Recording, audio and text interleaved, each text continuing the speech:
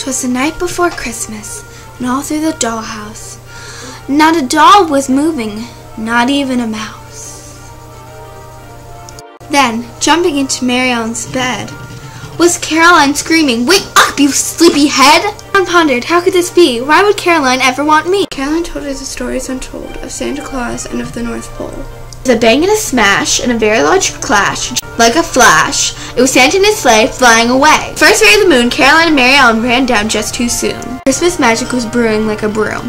Mary Ellen cried out, oh my, oh my, as she stood in the midst of the Christmas magic before her eyes. Despite how hard they tried, everyone thought they were telling lies, but Caroline and Mary Ellen knew that the Christmas magic they saw that night was really true.